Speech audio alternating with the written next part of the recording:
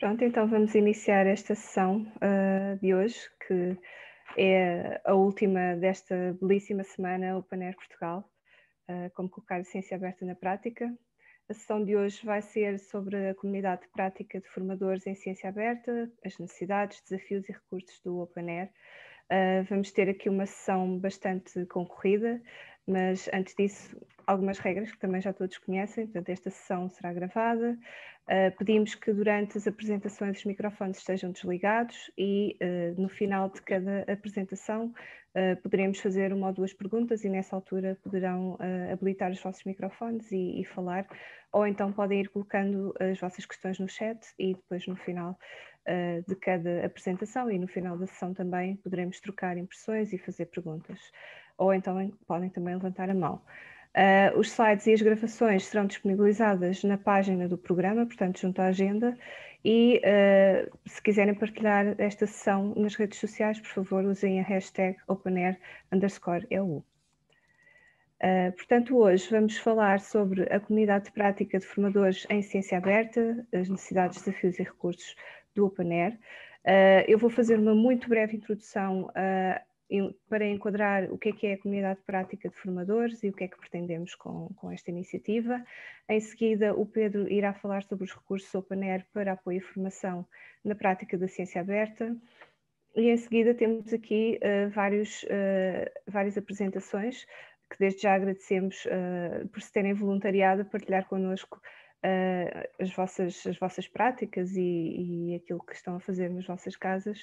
Uh, em, a iniciar teremos a Ana Loureira e Dina Rocha do Instituto Politécnico de Santarém sobre a ciência aberta, um, rumo, um caminho rumo, ao conhecimento. Em seguida, o Carlos Lopes irá falar-nos do caso do Centro de Investigação APCI, CI, não sei se estou a dizer corretamente, Carlos, depois poderás uh, corrigir caso não esteja bem. Uh, em seguida, Emília Pacheco, como avaliar a fiabilidade de uma publicação científica em acesso aberto. O Pedro Fernandes sobre os estilos, estímulos à formação de investigadores em ciência aberta e investigação responsável. E o Pedro Príncipe sobre o MUCNAL Essencial GDI. Uh, e para começar, uh, qual é que é o nosso objetivo com a comunidade de prática? Bem, o objetivo principal é criar uma rede informal de formadores e eu vou dar aqui uh, algum, alguma, algum stress à rede informal, portanto, termos um, um, um sítio onde possamos falar abertamente, trocar impressões sem grandes formalidades e uh, trocar as, as, experiências e as boas práticas que estamos a implementar em cada uma das nossas instituições. Uh, pretendemos também partilhar as iniciativas de formação que queremos fazer e que cada um irá fazer e desenvolver tópicos que sejam de interesse. Um, é possível, nestas sessões, portanto, no, nesta primeira sessão, nós estamos a, a, a ter aqui várias uh, apresentações que foram as próprias pessoas que se voluntariaram para fazê-las. Uh, é possível também termos sessões sobre um determinado tópico que consideremos importante, por exemplo, proteção de dados ou, ou outro tópico que, que, que, seja considerado no âmbito do, do grupo de interesse detalhar e então aí poderemos ter sessões mais focadas uh, nesse, nesse tópico. Esta sessão uh, que está a ser feita hoje. Portanto, é a primeira uh, reunião do grupo. Uh, para esta sessão foram, foram convidadas as pessoas que participaram nos, nos bootcamps, mas eu já irei detalhar um bocadinho melhor o que é que, que, é que fizemos. Uh, mas o que eu vou pedir é que, se, é que façam inscrição neste formulário, e tem aqui o link, para nos dizerem exatamente o que é que pretendem fazer neste grupo. Portanto, nós temos a noção que uh, provavelmente haverá algumas pessoas que uh, estão a assistir a esta sessão que se inscreveram por curiosidade, que queriam saber melhor o que é, que, é que era isto, o que é que nós iremos fazer hoje, uh, e que irá, irá haver pessoas que terão mais disponibilidade e outras que se calhar não têm tanto, portanto nós pedimos desde já que nos informem se de facto vão ter uma participação mais ativa no grupo e se pretendem integrar este grupo de uma forma mais ativa, participar nas reuniões, participar nos grupos de trabalho, nos, nos trabalhos que forem desenvolvidos, ou se querem apenas manter-se informados e para isso, pronto, temos então este, este formulário. Uh, Deixa-me ouvir qualquer coisa. Ok. Mas um pouco atrás, como é que isto tudo começou? Portanto, nós, no âmbito do, do projeto Foster uh, e do projeto Fit for RRI, fizemos alguns, uh, alguns workshops e alguns, algumas formações de train the trainers, portanto, formação de formadores em ciência aberta. Portanto, o primeiro foi uh, o workshop de formação de formadores em ciência aberta, que teve lugar uh, na nona Conferência Luso-Brasileira de Acesso Aberto, em 2018. Uh, portanto, este foi um, um workshop que foi no final da Confoa, portanto, já fora da Confoa, mas imediatamente a seguir, e em que tivemos pessoas de Portugal e do Brasil, portanto, a, a proporção foi mais ou menos metade-metade e este foi o primeiro workshop que realmente fizemos uh, e que foi, foi um êxito, portanto as pessoas uh, manifestaram-nos que, que, tinham gostado muito, tinham gostado muito de partilhar uh, informação entre elas e, e, de, e, de, obter mais algumas ferramentas e, e, mais algumas noções de como poderiam dar formação em ciência aberta. E a seguir a esse, portanto, fizemos também um bootcamp luso-espanhol de formação de formadores em ciência aberta. Portanto, este foi feito em Salamanca uh, e, uh, neste caso, teve participantes de Portugal e de Espanha uh, e também foi bastante interessante e, e, e mais uma vez foi destacada esta partilha informal, esta, esta coesão que, que acabou por existir no âmbito do grupo, uh, de termos pessoas que estão muito focadas em dar formação neste tema específico e que gostam de partilhar e gostam de saber também, uh, de ter noção o que é que estão a fazer uh, noutros sítios. Uh, e uh, a última reunião que tivemos neste caso, né, já, já teve que ser virtual, foi um bootcamp uh, no âmbito do projeto Fit for RRI para formação de formadores em ciência aberta e investigação e inovação responsável. E no final deste bootcamp, nós já considerávamos que poderia ser interessante criar esta rede que estamos a iniciar agora, um, para que de facto pudesse haver esta troca, para que as pessoas pudessem partilhar e, e, e trabalhar em conjunto, um, apesar de serem de, de geografias diferentes e de, e de, institutos e universidades diferentes, mas fazerem, desenvolverem trabalho e, partilharem as suas iniciativas. E uh, nós fizemos, uh, isto foi só um, um dos um dos slides do Mentimeter, uh, mas fizemos al alguma auscultação, portanto, convidámos para esta última sessão uh, deste bootcamp uh, participantes nas formações de formadores que tínhamos feito anteriormente, portanto, de, a formação de Lisboa, da Confoa e também a de Salamanca. Convidámos os participantes para também se juntarem uh, a este último dia do bootcamp uh, online e uh, fizemos alguma auscultação, portanto, o que é que gostariam de desenvolver, que trabalho é que gostariam de fazer e uh, como é que poderíamos avançar com esta comunidade de prática. E uh, o, que, o feedback que tivemos e, e, que podem ver aqui neste, neste slide do Mentimeter foi que poderíamos fazer uma mailing list para as pessoas poderem partilhar uh, conhecimento, partilhar iniciativas que iam fazendo e também fazermos reuniões bimensais aí para trabalhar mais uh, especificamente alguns tópicos que iremos ainda uh, escolher quais é que são. Portanto, esta é a primeira reunião que estamos a fazer deste grupo o bootcamp foi em setembro, mas por razões várias não foi possível avançarmos mais cedo, mas resolvemos avançar agora uh, no âmbito desta, desta semana do Open Air e uh, fazer esta reunião aberta uh, para que outras pessoas também se pudessem juntar ao grupo, caso de facto também pretendam entrar nos trabalhos e participar ativamente nas reuniões. Eh, caso não o, fez, ou não o queiram fazer ou não tenham disponibilidade de momento, podem pedir para ser adicionados à mailing list e uh, receber as informações uh, daquilo que for sendo feito e também de iniciativas que, que possam haver uh, a nível nacional no âmbito da ciência aberta. neste momento, pronto, deixo, deixo a vossa. Abro, abro a possibilidade, se quiserem fazer alguma questão. Se não, passo desde já a palavra ao Pedro uh, que irá falar um bocadinho mais sobre os recursos do, do OpenAir na, para a ciência aberta. Ok, excelente, uh, muito obrigado. Um, uh, vou, vou, aqui fazer então esta apresentação, espero que não se ouça, não se ouça muito aqui um ruído, que está a haver aqui umas obras no, no prédio, fui agora aqui fechar 100% a porta.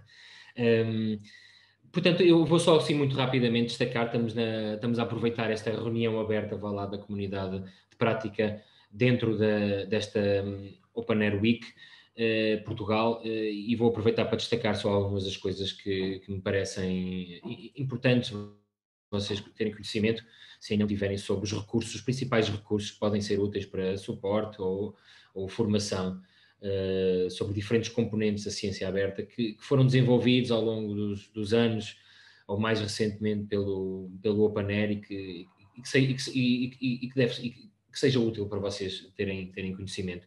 O, o OpenAir, vocês sabem, tem várias componentes, vá lá, nós aqui procuramos ao longo desta semana destacar um, ehm, os vários, o, várias áreas dos, dos, pilares da ação da infraestrutura OpenAir, falámos sobre serviços uh, que, que, ligam diferentes, uh, diferentes produtos da, da, da, investigação, falámos sobre políticas, nomeadamente ontem, um, para que haja algum alinhamento entre, entre as políticas europeias, entre as políticas dos diferentes Estados-membros. De diferentes financiadores e, e também uh, um dos pilares da ação do Open Air é a formação, portanto, o desenvolvimento de competências para que tanto as políticas dos financiadores como depois todo este modus operandi Open Science seja realmente, seja realmente embebido. Portanto, vamos então destacar este pilar da formação aqui a ação fundamental e, e, os materiais e os diferentes, um, as diferentes atividades de formação que o, que o Open Air desenvolveu enquadravam-se assim numa, numa área abrangente que era o Open Science Helpdesk, que no, no âmbito do, dos projetos Open Air e mais recentemente neste último projeto era coordenado precisamente pela, pela Universidade do Minho, mas com a participação de praticamente todos os, os, os, os parceiros do projeto. Tinha um, uma área de coordenação da atividade de suporte e desenvolvimento de materiais, eh, e eu vou, onde se destacam guias, fact sheets, o próprio sistema de, de Helpdesk Ticket e o apoio nacional, portanto, eh, muitos de, muito, muitos de vocês, alguns de vocês, eh, tiveram, realmente organizaram atividades onde algumas pessoas do National Open Access Desk Portugal tiveram presentes. Ehm, e, portanto, temos alguns guias e factsheets disponíveis que eu vou destacar aqui algumas que me parecem de maior utilidade. Depois, houve ações de formação em, em genericamente em acesso aberto às publicações ou em dados abertos, mas também uh, mais recentemente, ao longo dos últimos três anos, uma maior aposta na gestão de dados de investigação e noutras componentes da ciência aberta, mais ligado a outro tipo de mais de, de, de workflows abertos. Eh, mas pronto, o, que fica foram um conjunto de workshops em que, há, em, em que, foram sendo realizados a nível europeu, os materiais estão disponíveis no, no site, uh, mas ficam também muitos materiais de webinars e de, e de, gravações que foram feitas e alguns webinars continuarão a ser feitos agora no, no, nos próximos meses. E houve também um investimento na, na, em alguns, alguns cursos também de formação de formadores que foram feitas, e nomeadamente houve o Open Air protagonizou o nascimento de uma comunidade de prática de coordenadores de formação de diferentes infraestruturas a nível europeu, um, ehm, que, que, também é uma, é, uma, é uma iniciativa interessante e que foi um pouco onde nós também fomos beber esta ideia de, de propor a dinamização desta comunidade de prática.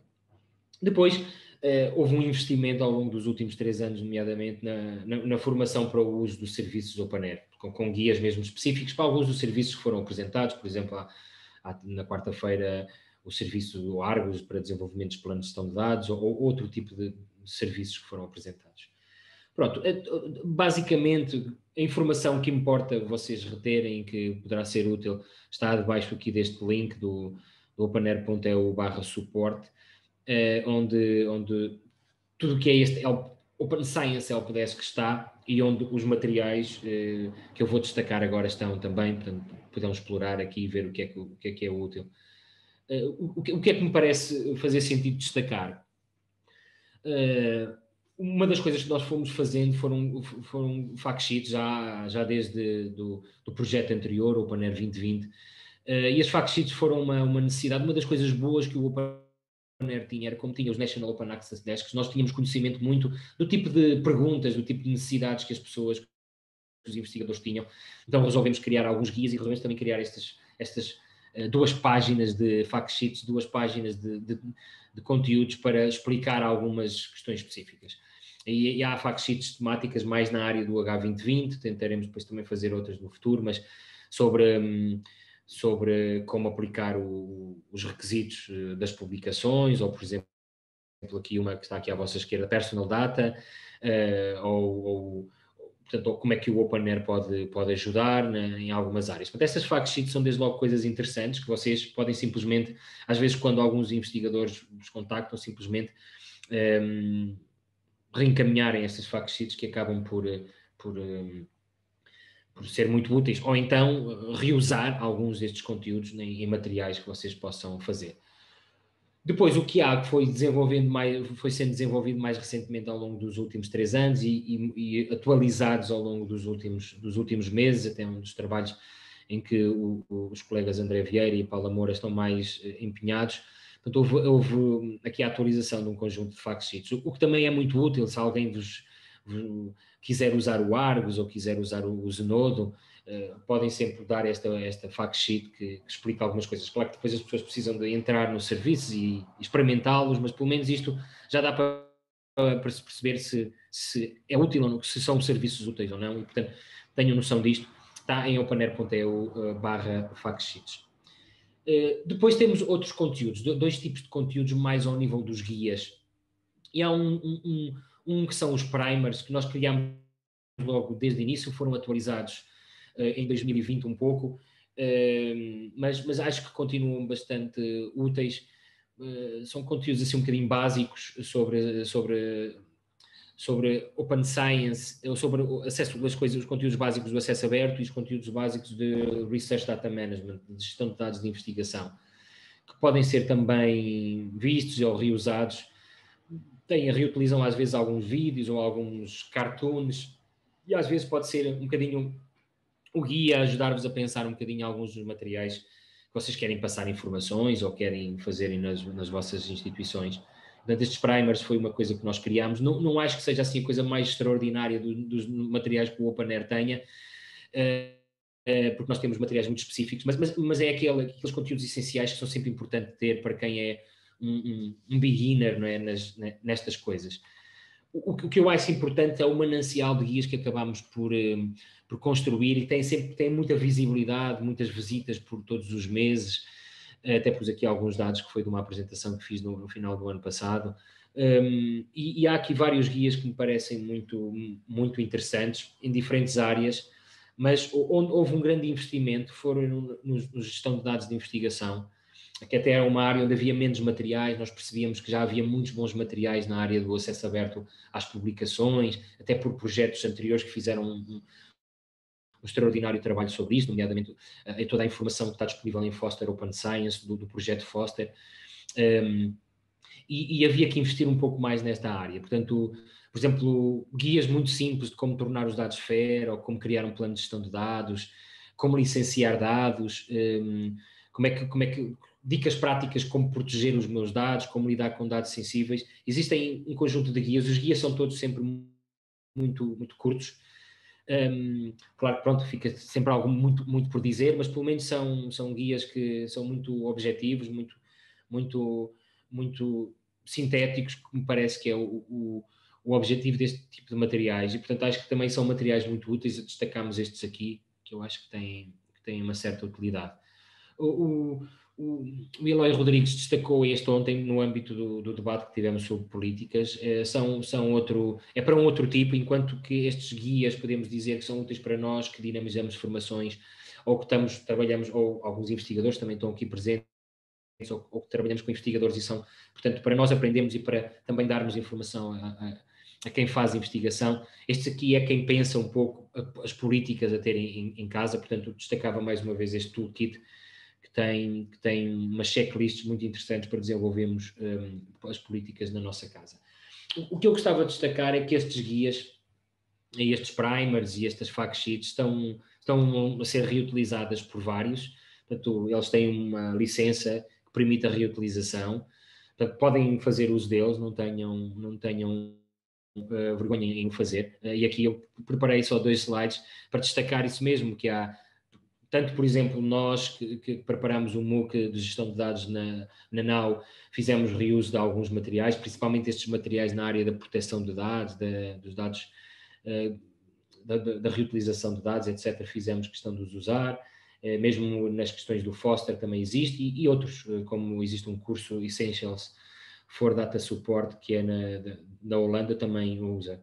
E, e onde eles também são muito usados são em páginas que as instituições têm Tivemos aqui a colega ontem da, da Universidade de Ghent a, apresentar o que é que está a ser feito na Bélgica. A própria Universidade de Ghent tem, um, tem umas páginas sobre gestão de dados e, e tem lá materiais do OpenAir incluídos ou páginas um, de outras instituições. E eu sei que algumas instituições portuguesas também têm, mas queria só dar exemplos porque realmente são, nós podemos fazer uso destes materiais eh, para, para, alguns, eh, para algumas, algumas coisas que temos. Portanto, às vezes não precisamos de reinventar a, a roda e reusamos estes materiais e podemos nos focar noutro tipo de coisas, porque foi para isto que estes projetos também nasceram e é também para isto que estes projetos são financiados com dinheiros públicos para podermos depois reusar esse tipo de materiais nas nossas instituições e já temos aqui, vá lá, o caminho um pouco, um pouco facilitado.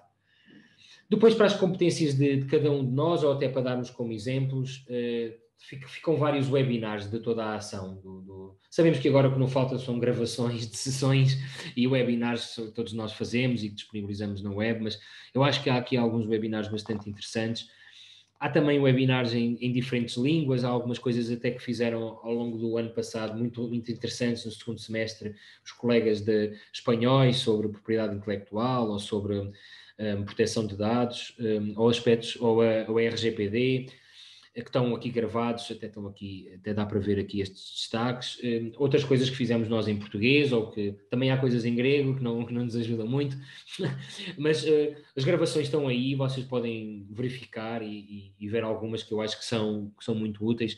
Sempre um, ao longo das Open Access Weeks, o Open Air realizou um, webinars e nos últimos três anos nós fizemos sempre um conjunto de webinars só, destinados a young researchers a investigadores jovens. Fizemos até duas vezes com, com a organização de, de investigadores jovens e bolseiros, que é a Eurodoc, a organização europeia, e acho que também são muito interessantes esses webinars, porque são, são feitos para e por. Um, um, aqui alguém que está aqui a escrever na. Ok, obrigado. Já fizeram um reset. um, e que são, e que, que, que, são muito interessantes porque foram, foram webinars que foram feitos precisamente para, para e com os investigadores. Pronto, ficam, ficam estes destaques eh, para vocês poderem explorar e para verem se há aqui coisas que sejam do, do, úteis para vocês ou que vocês podem, possam preencher alguma lacuna em materiais que, que tenham. E basicamente era este o destaque que eu queria fazer. Não sei se há aqui alguma pergunta. Uh, de momento não temos. Pedro, posso? Sim, sim, sim. É, primeiro, boa tarde a todos. É, é, estou, né, como eu já havia referido, a gente está numa iminência de preparar uma formação e tinha uma dúvida. Se vocês veem algum problema, porque em alguns casos, por exemplo, eu tenho vários materiais, né, sobretudo após o, o bootcamp, tem o material do próprio bootcamp, tem o material do, do Manual de Formação em Ciência Aberta, que é do Foster, o material que vem do Open Air. Em alguns momentos, alguns materiais de um parecem mais didáticos, em, algum, em alguns momentos do outro. Há problema em, em usar, mesclar esses materiais? Vocês veem problema nisso? Obviamente, sempre citando as fontes uhum. é, nisso. Não, não, não, há. O, o, no, no caso do Foster, uh, o Foster tem, foi, fez um trabalho excepcional e, inclusivamente, as, as licenças associadas para a reutilização da informação do Foster é, até são CC0, portanto, é, são mesmo 100% abertas. As do OpenAir são CC BY eh, e, portanto, essas licenças permitem precisamente isso que tu estás a dizer, mesclar. Sim. mesclar. Sim, porque é, é, isso, às vezes a gente está, pronto, sobretudo pensando numa formação básica mesmo, de dar os primeiros conceitos e, sobretudo, caminhos. Ou seja, uhum. não é explicar tudo às pessoas, mas sim dizer a elas que este é um assunto importante e se quer procurar mais informações, são esses os caminhos. É mais ou menos por aí que eu havia pensado. Mas em alguns momentos, sim, parece-me que algumas, algumas partes deste todo estão melhores no material do OpenAir, algumas vezes no manual de formação de ciência aberta. Então era só mesmo isso, para ter certeza de que não há problema. Pronto, mesclar, misturar sim. os conteúdos. Sim, sim, sim. Sim, obrigado. Sim, podemos depois também entrar na discussão mais, mais no fim, mas um, agora a minha apresentação já terminou. Eu, eu só gostava de fazer uma, um dos destaques que eu faço aos materiais. Há, às vezes, materiais do OpenAir, como os guias, que são às vezes muito sintéticos. A estrutura até são umas tábuas de lado e, e, pouca informação, que às vezes até pode, hum, pode, pode dizer, epá, isto é, falta aqui conteúdo. O OpenAir, ao longo dos anos, aprendeu uh, que nós às vezes fazemos um... Fazemos, damos tanta informação aos investigadores que, que, que a malta perde-se e às vezes interessa fazer coisas bastante mais sintéticas e depois quando há necessidade de fazer algo mais, sim, depois entramos nós em ação, fazemos nós ações, por isso é que existem informações face to face, mas às vezes pomos 50 links mais 233 páginas e depois aquilo não ficou nada. Portanto, mais vale um, um, um guia curto, como as fact sheets que têm duas páginas, ou os guias que, verdadeiramente, alguns guias, se nós copiarmos aquele conteúdo, aquilo também dá pouco mais que duas páginas ou três. Eh, do que estarmos a dar muita informação. E, portanto, se vocês às vezes tiverem algum sentido crítico que, que vão ter para alguns materiais, foi sempre isso que guiou, que orientou a nossa ação, porque nós já fizemos toolkits no passado, no OpenAir, com 30, 40, 50 páginas, e realizámos que a utilidade deles era bastante menor, e por isso começámos a vocacionar muito mais para este tipo de guias muito práticos, com questões concretas. Aí os, materiais do Foster também são muito felizes, porque os materiais do Foster foram construídos a partir da ideia de quais é que são as perguntas críticas dos investigadores que nós precisamos de responder, então fazemos uns cursos curtos. Pronto, gostava só de fazer esta nota, um comentário adicional aos materiais. Ok, okay. muito bem. Se não existem mais questões, uh, eu passava desde já a palavra à Dina Rocha e à Ana Loureiro, não sei quem vai apresentar. Pronto, e agora entramos mesmo na comunidade prática, né? Vamos, vamos, vamos ter uma parceria, portanto, ainda bem que somos as primeiras para vocês terem mais paciência. Uh, mas de qualquer forma vamos fazendo aqui este, esta apresentação e, e, no final então pedir para fazerem as perguntas, até porque provavelmente é uma dinâmica um bocadinho estranha a outras pessoas que aqui possam estar, mas faz parte da nossa cultura organizacional. Eu pedi à Ana, então, se calhar, para partilhar a tela, que eu começo. Já agora, eu sou Dina Rocha, sou bibliotecária, sou diretora da Unidade de Biblioteca, uh, acumulo também alguma docência na Escola Superior de Educação. A professora Ana Loureiro é professora de carreira, coordena o mestrado em recursos uh, digitais em educação e, uh, entre outras coisas, e é das pessoas que trabalha comigo dentro destas áreas e eu trabalho com ela em termos daquilo que ela necessita para a formação.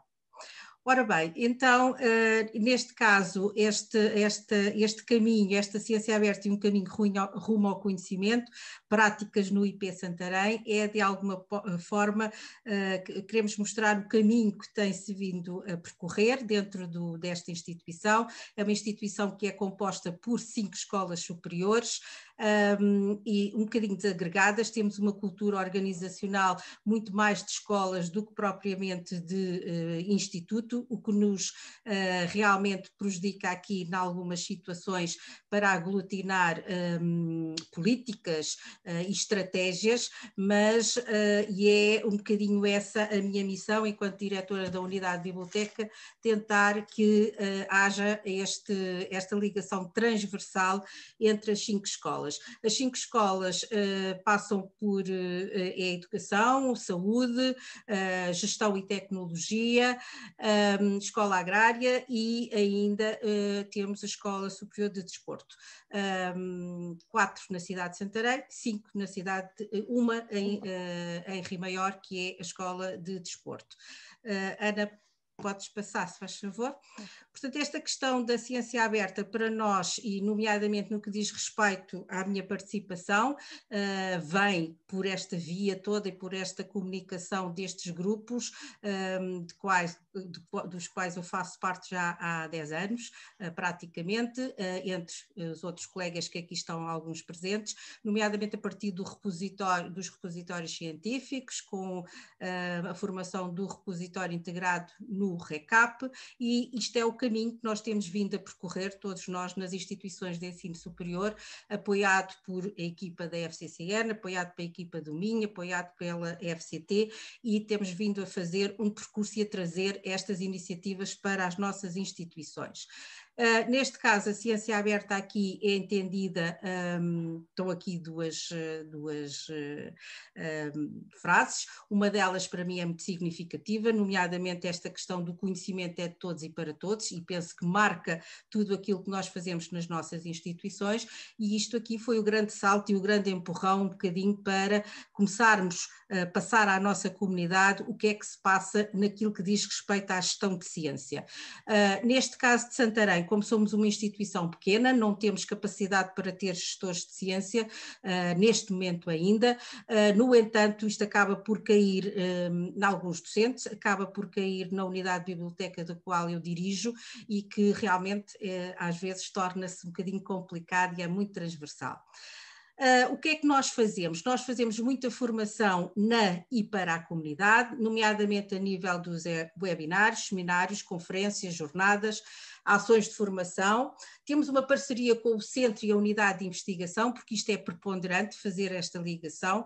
O nosso centro é um centro de investigação em qualidade de vida e depois temos uma unidade de investigação em que tenta gerir tudo o que é projetos de investigação e de alguma forma faz comigo a parceria entre a gestão de ciência na unidade de biblioteca. Para além do repositório uh, institucional, nós temos ainda duas revistas que estão integradas no RECAP, a revista Interações e a revista da própria unidade de, de investigação, e uh, daqui que há, de alguma forma, uma produção de conhecimento bastante. Com alguma força, uh, tudo uh, em acesso aberto, que é este o caminho que nós temos uh, percorrido.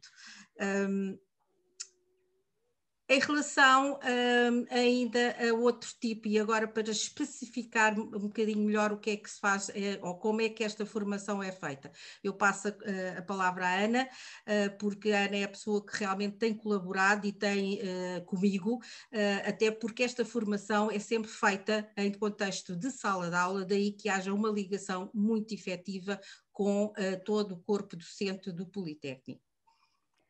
Ana, Obrigada, Dina. Sim, uh, então boa tarde a todos e a todas.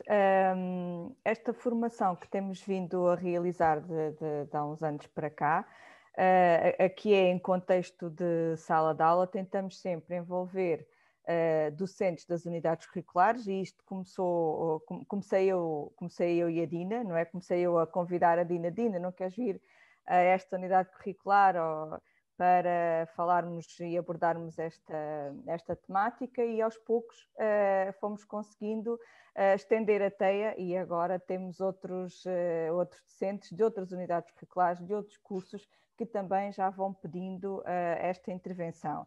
Tentamos também sempre, na medida do possível, implicar as coordenações de curso, porque através das coordenações de curso conseguimos chegar um pouquinho mais além.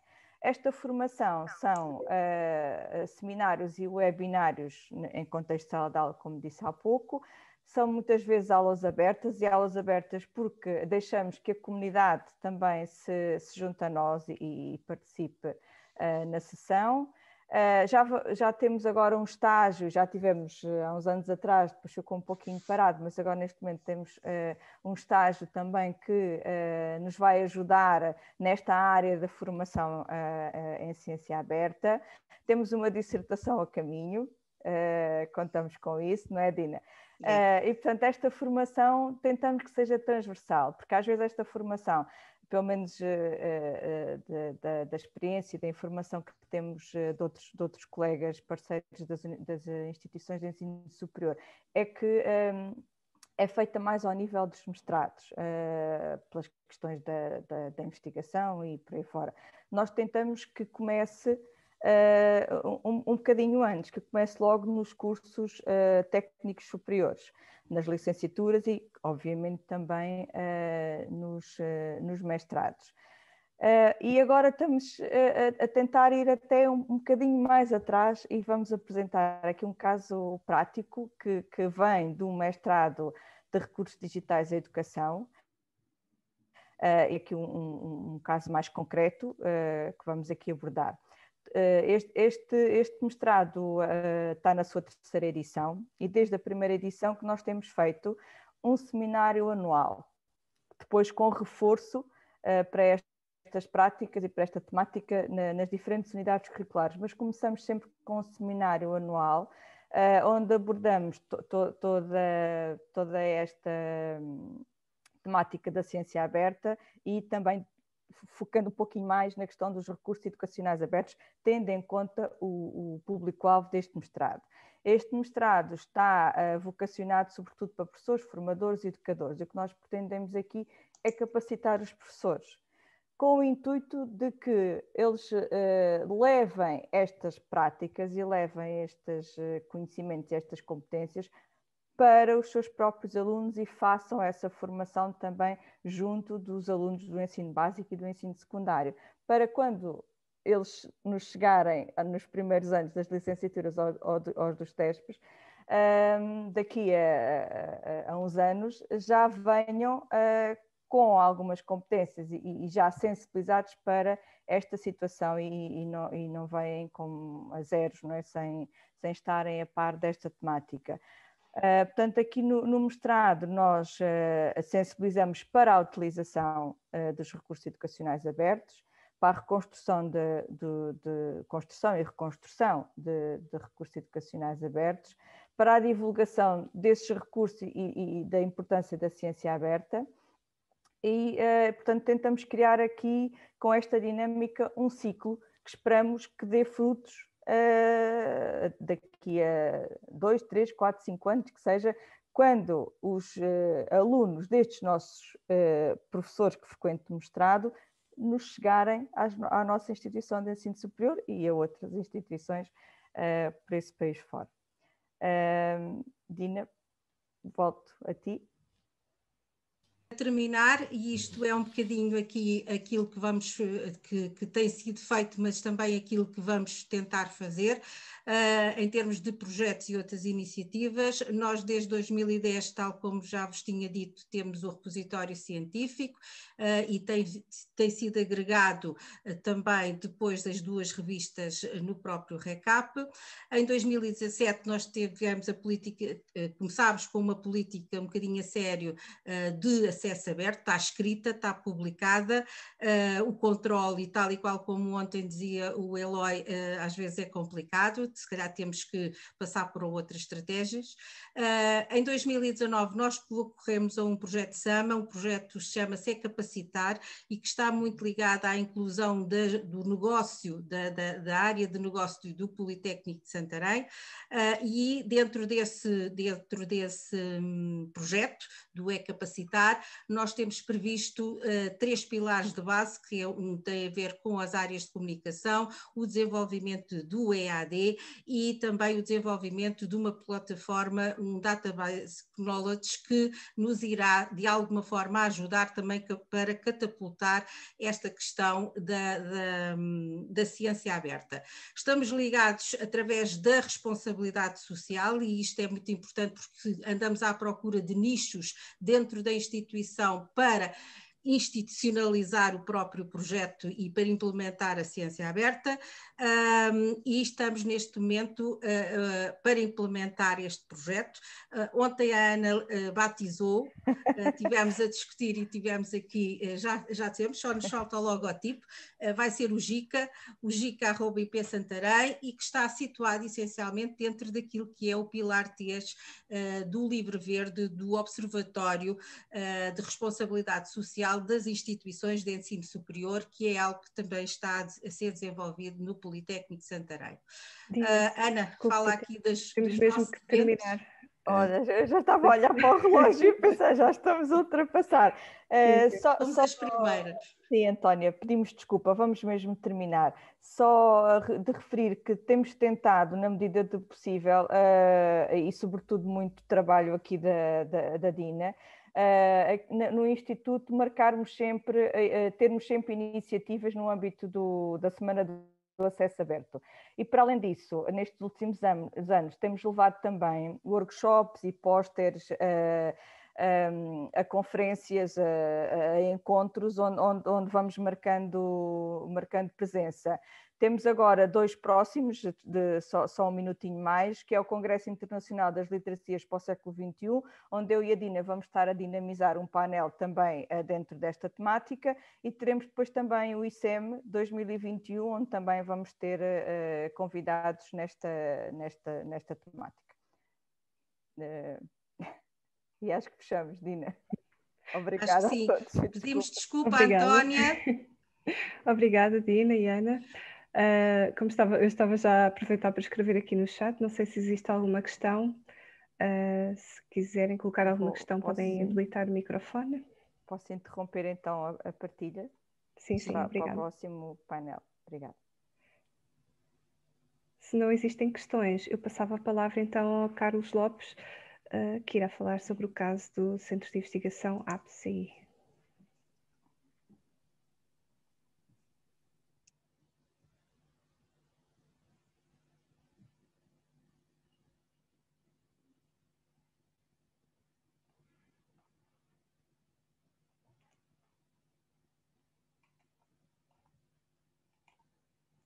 Carlos, não sei se estás a falar, mas não estamos a ouvir.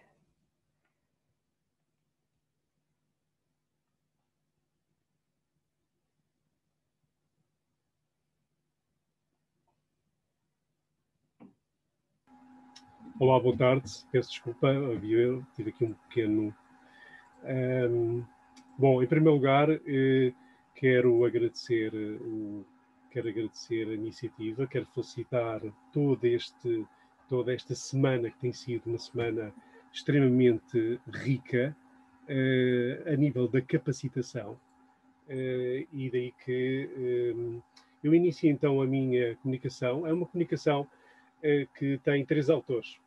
Carlos Lopes, eu sou bibliotecário e sou docente do, do ISPA, Instituto Universitário. Maria da, Luz Antunes, bibliotecária da Escola Superior de Tecnologias da Saúde e do Instituto Politécnico de Lisboa e a minha colega Tatiana Sanches, bibliotecária da, do Instituto de Educação do, da Universidade de Lisboa. Uh, temos uma coisa em comum, trabalhamos a área da literacia em saúde, da, da literacia uh, da informação há muito tempo, há muitos anos, uh, e estamos os três integrados num centro de investigação, ou seja, somos investigadores. Ou seja, somos bibliotecários, investigadores, e eu vou-vos contar aqui a história a história do, de, do estudo de caso do Centro de Investigação APSAI. Não há ciência aberta sem literacia da informação. No Open Day da nova Doctoral School, realizado em Lisboa, a 17 de janeiro de 2017, o professor Dr. António Rendas, à época reitor da Universidade Nova de Lisboa, concluindo o seu discurso, afirmou: Não há ciência aberta sem literacia da informação. Esta afirmação impulsionou a realização deste desafio e de muitos desafios e muitos projetos a que estamos associados. O primeiro projeto é, estamos integrados numa, num centro de investigação, que vou começar a, a assinalar, APSAI, que é um centro de investigação que nasceu em 2017 eh, e que é um centro de investigação de psicologia aplicada, eh, capacidades e eh, inclusão. Este centro de investigação eh, foi que é gerido pelo professor eh, José Ornelas, um dos grandes mentores, um grande, uma grande visão sobre a questão da incorporação da ciência aberta no centro de investigação. Neste sentido, neste sentido, a missão do centro de investigação, eh, a APSAI, é reforçar a capacidade dos indivíduos, grupos, famílias, organizações e instituições para desenvolver soluções para problemas societais concretos e complexos, promovendo a colaboração entre os setores público, privado e sem fins lucrativos proporcionar oportunidades para a exploração do potencial de inovação e interação entre a investigação, a intervenção e o ensino e aprendizagem em psicologia e outras ciências sociais.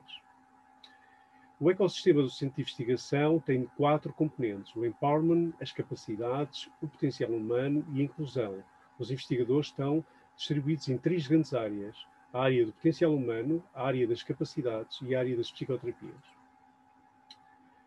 Quando foi criado este, este, centro de investigação, este centro de investigação criou uma major na área da ciência aberta, operacionalizado dentro dos princípios da ciência aberta, que se traduzem em estratégias de disseminação colaborativas e transparentes, potenciando a criação de transferência do conhecimento, tornando-o acessível de modo a potenciar o uso prático dos resultados científicos em benefício dos indivíduos e da sociedade.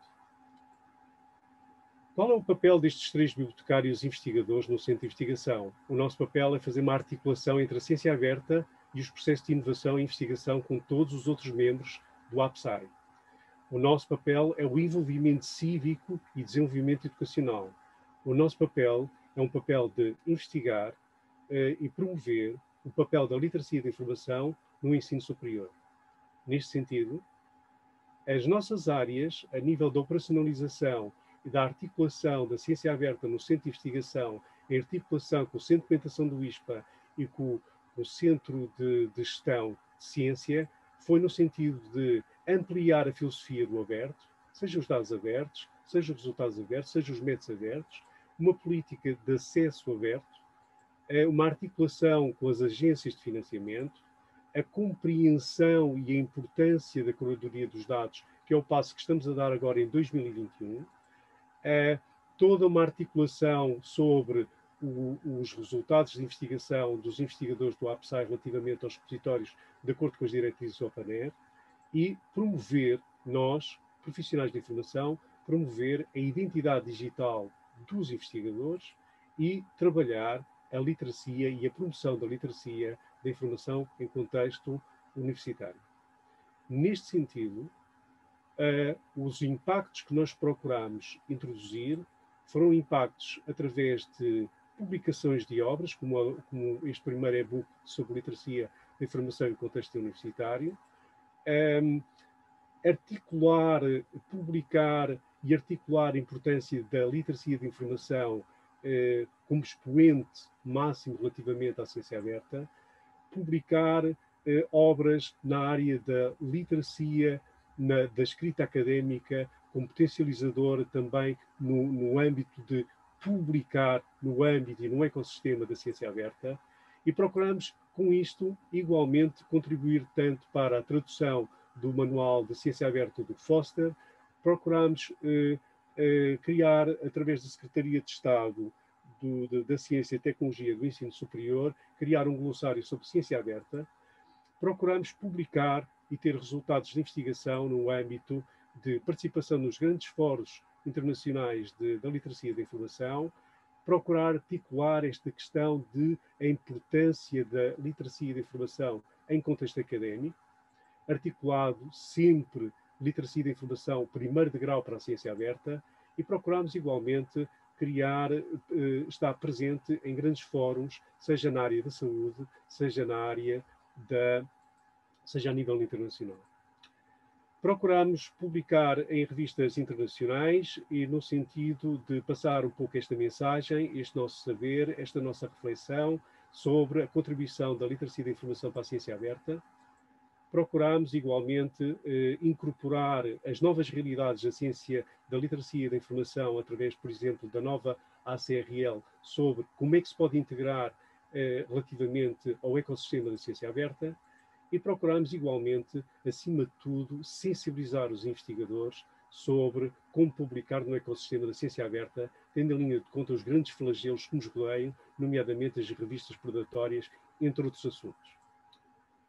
Qual foi, qual foi para além disso, eh, estes três profissionais de informação procuraram sempre articular, de acordo com as recomendações da Associação Portuguesa de Bibliotecários, Arquivistas, Documentalistas e Profissionais de Informação. Estas recomendações que foram, foram emanadas através do Grupo de Trabalho das Bibliotecas de Ensino Superior eh, preconizam, nesta última revisão de 2020, um eixo extremamente estratégico para os profissionais de informação, que é o apoio à investigação. E daí que eh, capacitar para a prática da ciência aberta é, é algo que nós eh, podemos potencializar com os investigadores, estando dentro ou fora de um centro de investigação viabilizar iniciativas editoriais e a publicação científica e académica e consolidar, acima de tudo, parcerias estratégicas de apoio à investigação. Neste sentido, no futuro, o que nós como temos como diretrizes é encorajar uma luta difícil, eh, os investigadores a aderir ao movimento da ciência aberta, procuramos igualmente como aumentar a eficácia das parcerias com investigadores, bibliotecários, gestores de ciência e organizações e agências. Uh, estas parcerias com centros de gestão de ciência são estratégicos. Procuramos igualmente investir no desenvolvimento de competências dos profissionais de informação, sobretudo numa tarefa que é muito exigente, como seja a questão da gestão de dados. E por último, um. E por último, continuar na implementação dos projetos sociais específicos, articulando a literacia da informação com ciência aberta. Estou a terminar. Em conclusão, o que nós procuramos é, é, é fazer esta articulação, e a grande mensagem que eu queria aqui assinalar é uma aprendizagem constante de, de, de articular a literacia da informação associada à ciência aberta e, com isso, criar um compromisso cívico e científico com o desenvolvimento educacional e da ciência, no sentido de criar novas dinâmicas da ciência no ensino superior. Este grupo foi, eh, participou recentemente na EAIL, e, que é o European Association for Health Information and Libraries, e teve, eh, onde apresentou esta relação da literacia da informação com a ciência aberta e eh, foi galardoado com, pela primeira vez, Portugal trouxe este prémio da, da, da melhor, foi o prémio da melhor apresentação. Obrigado por e esta é a equipa uh, que apresenta esta comunicação, a quem agradeço e agradeço aqui igualmente a toda a equipa do APSAI, nomeadamente ao seu responsável, ao seu coordenador, professor José Ornelas. Muito obrigado. Muito obrigada, Carlos, e obrigada pela disciplina com o tempo. Uh, não sei se existe alguma questão. Não temos nenhuma colocada no chat. Uh, sendo assim, passava então a palavra à Emília Pacheco, que nos irá falar sobre a fiabilidade das publicações científicas. Esperem que eu comecei pelo final, não é uma boa maneira de começar. Ok. Então, olá, boa tarde. Estão-me a ouvir, não estão? Sim, perfeitamente. Sim. Uh, eu chamo-me Emília Pacheco, sou bibliotecária na Universidade do Algarve e venho uh, apresentar aqui hoje uma. Uh, uma bem, é uma espécie de uma formação que nós fazemos na biblioteca para a comunidade académica da UALG sobre acesso aberto, neste caso concreto é como avaliar a fiabilidade de uma publicação científica em acesso aberto. Está relacionado com aquilo que falava o Carlos Lopes, que são as, o flagelo das publicações predatórias. Portanto, é um bocadinho nesse, neste enquadramento. Vou tentar fazer uh, esta sessão, que dura sempre mais tempo, uh, nos uh, seis ou sete minutos regulamentares. Vamos ver se consigo. Então, este é, é, o, nosso, é o nosso guião para, para, para a formação, os conceitos, os critérios e costumamos ter um exercício prático que aqui não fará, não fará sentido as revistas científicas e o acesso aberto, Uh, o objetivo aqui, o nosso objetivo é indicar possíveis critérios uh, que ajudem a identificar as publicações científicas potencialmente falsas, ditas predatórias, uh, que têm, têm proliferado com o acesso aberto, beneficiando deste modelo em que o autor, a instituição, suportam os custos da publicação, os Article Processing Charges, que, uh, que têm a ver, e de que ontem aqui se falou bastante, e neste modelo surgiram então falsas editoras uh, que uh, levaram a, a, que se conhece este, este termo, as predatórias, as revistas predatórias, referentes a publicações online que dizem ser de acesso aberto e que, portanto, deveriam fornecer os serviços editoriais básicos, que são eles a revisão por pares, o arquivo permanente, mas que falham este processo. E isso porque o objetivo é mesmo o de fazer dinheiro. Este termo foi usado pela primeira vez por Jeffrey Bill e uh, então isto leva-nos à questão de como avaliar a qualidade das produções científicas em acesso aberto. Tal como para o modelo da assinatura paga pela uh, biblioteca ou pelo leitor final, tradicionalmente uh, expresso nas, nos indicadores bibliométricos, a qualidade das revistas em acesso aberto pode seguir a mesma, a mesma métrica. Uh, portanto, estes indicadores bibliométricos mais não fazem do que uh, relacionar o número de publicações produzidas com o número de citações que as revistas obtiveram. Para além disso, há muitos outros indicadores, entre eles uh, o processo de revisão por pares, certamente, a qualidade do corpo editorial da revista, a transparência de preços, o prestígio que as publicações conseguem uh, junto dos investigadores da área e uh, há aqui um, um pequenino uh, filme que nos pode ajudar a perceber um pouco este, esta questão.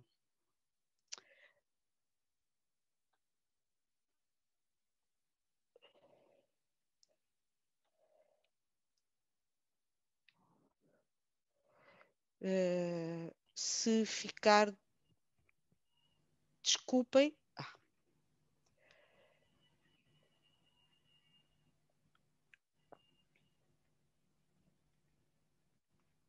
Uh, Emília, eu acho que estamos com algumas dificuldades em visualizar. Sim? Uh, sim. Ok. Ah, tá, tá. Então. Como, como vamos disponibilizar a apresentação? Exato, calhar... não tem importância, não... é isso mesmo. Então vamos voltar. Agora conseguem ver, não conseguem? Certo. Eu acho que devo ter partilhado só a uh, o PowerPoint em vez da, da, da, tela completa. Pronto, este filme é um, um pequenino uh, filme que uh, faz uma. É, provavelmente alguns de vocês já conhecem, é o Sing, Check and Submit, e ajuda os autores a, a, fazerem este processo de verificação de critérios de qualidade para revistas. Uh, para revistas. Portanto, é interessante e é muito, muito, muito simples, está muito bem orientado uh, depois terão a oportunidade de ver. Os critérios que nós, que nós, entre outros possíveis, claro, é bom sempre frisar, há imensos critérios possíveis, nós organizamos os possíveis critérios em critérios, por um lado, da editora e, por outro lado, critérios da revista, para ajudar os autores uh, uh, nesta compreensão. Portanto, os critérios da editora têm a ver com uma clara identificação da, da, editora, porque a editora é uma marca, portanto, quando começam a aparecer nomes tão variados, com, com, com diferentes siglas, pode-nos chamar a atenção pela parte negativa. As editoras devem fazer parte do Open Access Scholarly Publishers Association, que tem critérios de admissão, e que têm que ser cumpridos, não devem aparecer na tal Bills List, que é um, é um clássico uh, das, deste, deste mundo das revistas predatórias, e também não devem mencionar métricas falsas. Este outro site uh, ajuda também uh, nesta distinção. Podem ser membros destes dois comitês, digamos, podem porque um, está restritivo também a, a pertencerem a determinadas áreas científicas. Uh, critérios da editora são estes, critérios da revista. Uh, pois deverá estar indexada no Directory of Open Access Journals. É importante que todos os autores conheçam e mesmo para os alunos, quando fazemos esta, esta formação para alunos, é também interessante uh, dar a conhecer este recurso, porque também pode ser útil para encontrarem uh, informação. Uh, não devem aparecer na Bills List, mais uma vez, mas se a editora fizer parte desta lista, uh, nem todos os títulos editados por uma editora predatória farão parte uh, da, da mesma lista. Não devem aparecer na lista de revistas usurpadas por falsas editoras e também devem estar indexadas, tal como as revistas no modelo tradicional, nas bases de indexação e resumo, sejam elas multidisciplinares, como é o caso da Web of Science e da Scopus, ou sejam temáticas. Uh, ou então, também estarem disponíveis em índices. Os índices são variados, damos aqui alguns exemplos, sobretudo das áreas das humanidades, o European Research Index for Humanities, o Latindex, ou ainda em bibliotecas eletrónicas, como o Cielo, ou como a Redalic, Open Edition ou African Journals Online. Uh, desculpem, o que se passa aqui? Ok. Para decidir onde publicar, os autores consideram também outros critérios uh, que são sempre uh, que têm pesos distintos, mas que são sempre interessantes, uh, como sejam a rapidez da publicação, o tempo que medeia entre a submissão do artigo até, uh, incluindo o processo de revisão por pares, por vezes demorado, as políticas de copyright e licenças e no caso de não serem, não publicarem acesso aberto, considerar os tempos de embargo e as licenças, no caso do acesso aberto, as licenças que são associadas, as recomendações de colegas, o prestígio que a publicação tem entre os especialistas, as relevâncias da publicação, a relevância da publicação uh, para a avaliação, seja para a avaliação pessoal, seja para a questão da carreira, uh, seja para os centros de, de, de os centros de, de, investigação de que se faz parte, e uh, os valores a pagar, no caso das APCs, sendo que muitas destas uh, editoras predatórias uh, muitas vezes têm uns valores uh, abaixo daqueles que são consignados e que são bastante altos. Ouvimos ontem o Elei dizer, falar de APCs na ordem dos 9, 9 mil euros, uma coisa fabulosa.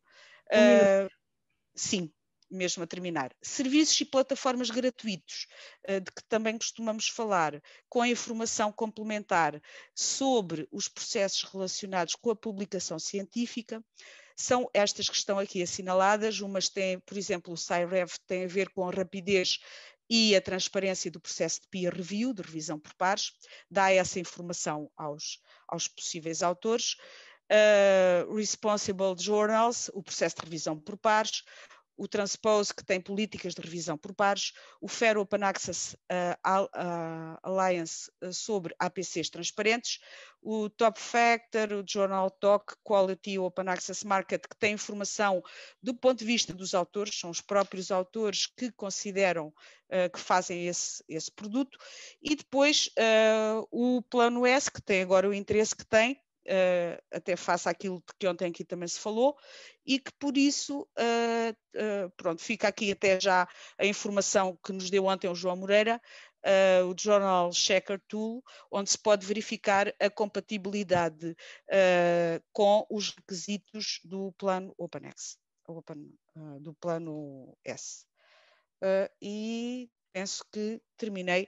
Pronto, estes são, os, são vários casos que ficam também só chamar a vossa atenção, que, normalmente chamamos, para o caso das, uh, dos apelos à submissão de artigos através do envio massivo de e-mails uh, e, que, e, que, normalmente configuram uh, questões relacionadas com revistas e editoras predatórias. Algumas referências e obrigada. Obrigada, Emília, pela tua partilha. Ok. Não sei se querem colocar alguma questão à Emília. Se não, poderão também colocar no final, se não, se, se não tiverem ideia nenhuma agora e, entretanto, se tiverem alguma questão, uh, no final também teremos um, um espaço para, para fazer. Uh, sendo assim, uh, passo a palavra ao Pedro Fernandes, que nos irá falar sobre os estímulos à formação de investigadores em ciência aberta e investigação responsável. Ok, muito obrigado pelo convite. Uh, o meu nome é Pedro Fernandes, uh, estou na área científica há, há, anos demais, trabalho numa instituição, para uns é pequena, para outros é grande, em termos de uma universidade que não é, seria pequena, para o Instituto de Investigação é relativamente grande, tem 400 pessoas a trabalhar, uh, é muito internacional, tem muitas ligações com instituições nacionais e estrangeiras e tem um papel no ensino que é um papel uh, que eu digo que é bastante nobre, mas não é no ensino formal. Portanto, como não é no ensino formal, tem regras diferentes e maneiras diferentes de funcionar. Dentro deste instituto eu tenho, como, como sou nesta altura já sou o decano. Vou fazer 65 anos e já, já sou o decano, portanto sou uma pessoa que muitas vezes é chamado uh, de maneira mais consultiva, embora tenha uma atividade bastante frenética a fazer treino. Um, os papéis que eu posso assumir numa instituição destas, em relação a estimular a, a comunidade de investigação ao uso de ciência aberta e, de boas práticas em investigação responsável, são, como eu disse, a educação não formal, que é um nome pomposo para treino, que é um ensino um bocadinho de luxo, porque é um ensino que privilegia muito a interação formador-formando, eh, privilegia muito o uso do feedback instantâneo e não só instantâneo, e portanto é uma situação que é privilegiada em relação a ter que dar aulas para 300 pessoas ao mesmo tempo, agora recentemente piorada com o famoso Zoom, que ainda dá para fazer mais disparate. Mas eh, em termos de relação professor-aluno, muitas vezes eu tenho um papel de aconselhamento, faço uma advocacia permanente em ciência aberta e investigação responsável. Uh, já vos vou falar do que é que é essa advocacia e como é que ela evolui. E uh, faço alguma divulgação comunitária fora de portas, fora de portas do Instituto. Uh, as, as, audiências com que eu lido são muito variadas. Há desde estudantes, a maior parte são estudantes de mestrado, de doutoramento, alguns investigadores e, eh, que são principais, outros são pós-doc. Uh, técnicos de unidades de serviço. Unidades de serviço é uma tradução liberal minha, estou a falar por muitos bibliotecários, devem ficar horripilados com isto, mas uh, é o que se chama Core Facilities em inglês. Eu chamo-lhe unidades de serviço. Um, e que são basicamente, sei lá, uma unidade de microscopia, que o que faz é, é ter os microscópios todos limpos e preparados e o investigador só tem que lá ir fazer o seu uso. Quem diz isso diz outra coisa, sequenciadores, outra coisa qualquer. Um, também tenho audiências em termos de, das audiências de divulgação, também vou explicar-vos o que é que isso quer dizer, mas especificamente fazemos sempre um Open Day, dois em dois anos. Aqui a imagem de cima é uma imagem em que há uma, uma tenda com vários recantos. Este recanto é um, recanto que nós uh, dedicamos à ciência aberta, mostrar como é que a ciência aberta funciona ao público. Isto, este público dos Open Days é, como se calhar sabem, um público que vai desde crianças e pais de crianças e avós, e vem, vem toda a gente que, que, quer dar um pezinho e, e mexer no microscópio ou, ou, falar com pessoas que fazem ciência, etc. E fundamentalmente as minhas audiências são formandos em cursos de treino. Tenho um curso, tenho um programa de cursos de treino a correr há 21 anos, com mais de 5 mil formandos, e a imagem de baixo é a imagem da sala de treino, que pelo menos a Antónia e o Pedro conhecem, e que são um, é um sítio onde temos lugar para um, um, grupo de até 20 pessoas, às vezes um pouco mais, mas lugares com interação com computadores, temos para 20 pessoas. Uh, as boas práticas de ciência aberta que nós temos acesso a divulgar nesta comunidade uh, baseia-se praticamente nestes, nestas quatro coisas. Eu diria que a quarta coisa é a mais importante, que é contrariar os mitos enormes que existem em relação ao uso da ciência aberta. Os alunos universitários vêm invariavelmente muito mal preparados, vêm com umas ideias muito uh, antigas e, e, e, endurecidas acerca da ciência aberta, e muitas vezes é, é quando entram no instituto que abrem os olhos e percebem que a ciência aberta não é aquilo que que têm dito, nomeadamente a nível das licenciaturas. E isso é, é eu peço desculpa a quem, a quem ensina no ensino superior se não se rever nestas palavras, mas o resultado final eu apanho. E esse resultado final é que as pessoas mal sabem o que é ciência aberta, nem sabem o que é, o que é abrange. E neste aspecto eu faço divulgações faço uh, ações de formação em que utilizo materiais do Open Air, nomeadamente aqueles folhetos e, e outras coisas, e, e uh, livros que eu já vos vou falar. Um, e, e, nessa altura eu vejo que eles estão a abrir os olhos pela primeira vez. Há pedidos individuais de apoio do, do, do pessoal científico do Instituto, desde os técnicos até ao, aos pós-docs, muito raramente os PIAs, porque já têm outro, outro destaque, e muitas vezes abordam com, com pedidos individuais para lhes explicar como é que vai funcionar um determinado uh, author fee, por exemplo, como é que uh, se pode uh, tratar um, um, artigo e pô-lo no repositório e pôr ou não pôr embargo, etc. muitas vezes a resistência das pessoas é passiva, ou seja, não fazem, não perguntam e ficam por aí. E, e isso quer dizer que é preciso contrariar mitos que essas pessoas trazem. Uh, não é um prejuízo para ninguém ter mitos, uh, toda a gente tem mitos, e, e eu, ter maneira de os contrariar é que é importante. E, portanto, eu, eu mantenho na minha posição, há, há muitos anos que nas, no contacto que tenho com outras pessoas, advogo ciência aberta, e o que acontece é que com estes mitos e, esta, e, e o recrudescer desta luta, que eu, que eu relevo a imagem do Eloy da corda esticada, mas também bafejada pelas lufadas de ar fresco, felizmente estão a acontecer. Uh, certas pessoas consideram que eu transformei a advocacia em ativismo, portanto, sou um ativista da ciência aberta sem vergonha e, e acho que não devo ter vergonha nenhuma.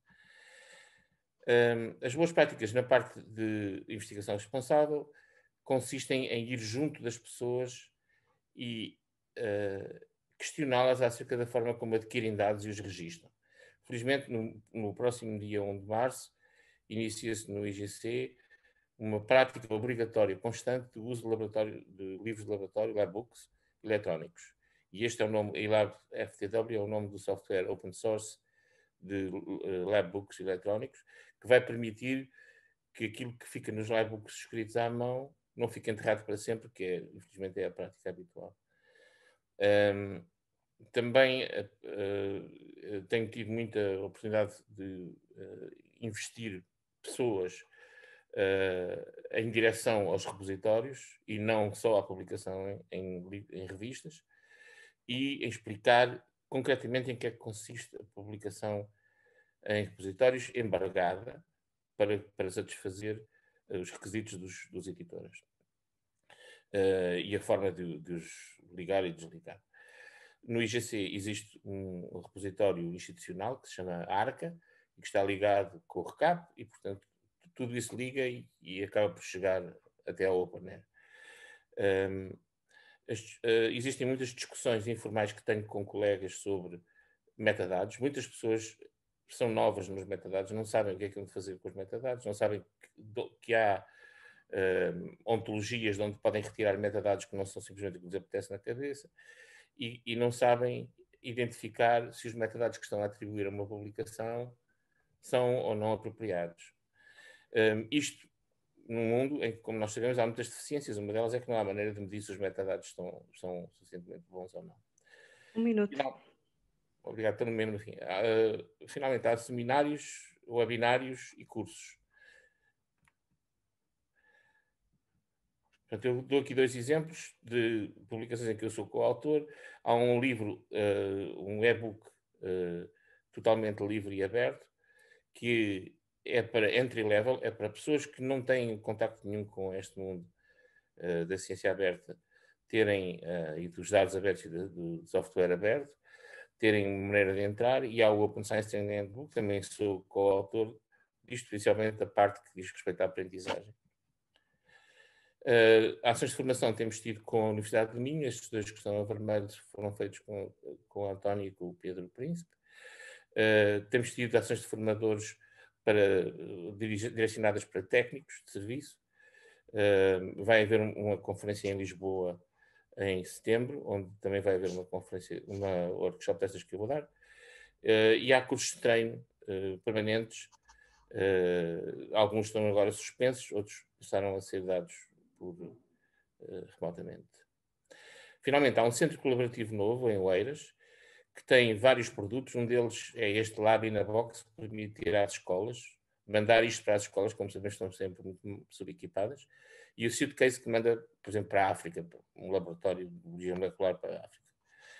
E há sessões de ciência cidadã em Oeiras, em que o IGC participa, com, em parceria com o Oeiras Valley, que é, como se calhar sabem, uma forma dinâmica do, do, do município pôr dinheiro nestas coisas.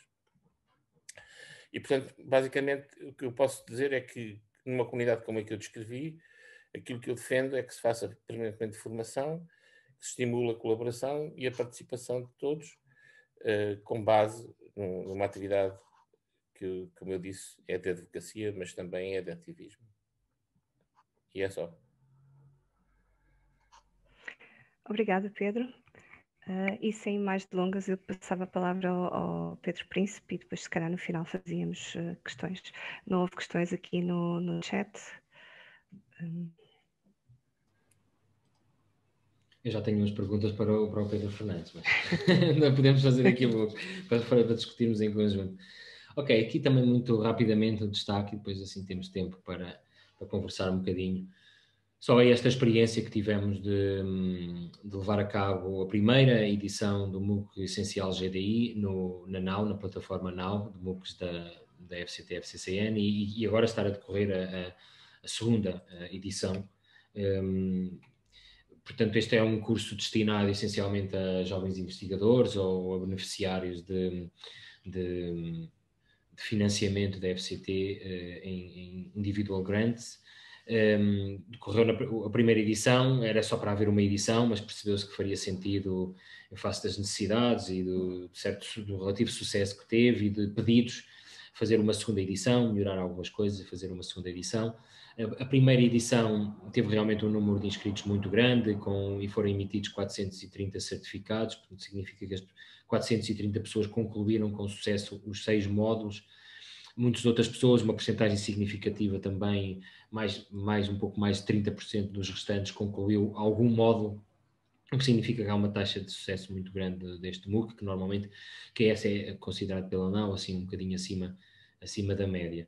Uh, tendo em conta que, pronto, que não tem propriamente nenhum créditos uh, efetivos ou para acreditar algum acesso a alguma, a alguma profissão ou assim.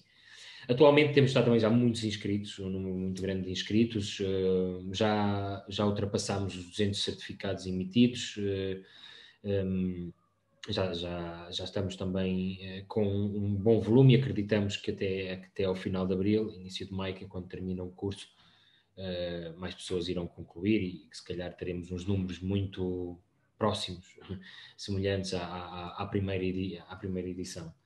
Um, ehm, o que, é que, o que é que eu gostava de partilhar aqui nos, nos próximos uh, minutos? Uh, um pouco que este tipo de iniciativas que nós fazemos, como algumas que vocês estiveram aqui a apresentar, acho que é importante nós refletirmos um bocadinho criticamente sobre elas, tanto numa perspectiva de fazermos uma avaliação. Acho que todas, nós, nós às vezes pecamos um pouco por não avaliar devidamente, uh, explorar o, o, impacto que, que, que, as coisas tiveram. Nós procuramos fazer isso com, com os recursos limitados e também com o esforço limitado que tínhamos para isto, mas procurámos fazer e a partilhar um bocadinho esse, este, estas ideias da importância de avaliar o curso e o grau de satisfação dos participantes e depois refletir um bocadinho que normalmente o que nós fazemos, tal como o papel do GDI numa plataforma nacional, o papel do GDI para mobilizar mais formação nesta área de gestão de dados de investigação, uh, o papel do MOOC, queria dizer, é, tem um papel limitado, portanto, há muito mais uh, players que têm que fazer alguma coisa, tal como nós também nas nossas instituições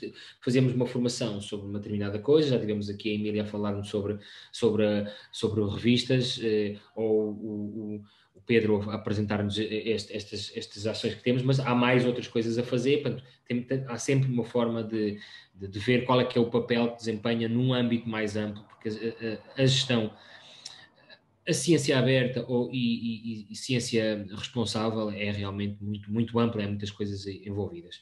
Pronto, e gostava de refletir só aqui muito rapidamente sobre isto. A, a, o primeiro exercício que nós fizemos foi, portanto, isto é um MOOC da NAU, que é uma, uma coisa muito boa que nós temos, a possibilidade de fazer um MOOC e de utilizar numa plataforma que é, portanto, monitorizada e gerida, atualizada por, pela FCCN, tem, utiliza um, um, um software que é o OpenEDX, e que o OpenEDX tem, tem possibilidades de analytics muito, muito interessantes. Portanto, um dos exercícios que nós fizemos foi, durante o curso, mas mais para o final, perceber, eh, perceber um pouco, analisar um pouco os dados de quem foram os participantes, que desempenho é que eles tiveram, que, quanto tempo é que passaram a ver vídeos, quanto tempo é que passaram a, a, a quem, que formação é que tinham, como, como o exemplo que está aqui, eh, para perceber se, face aos objetivos iniciais que nós tínhamos, tivemos o público que nós pretendíamos, para perceber se o tipo de conteúdos que nós, que nós tínhamos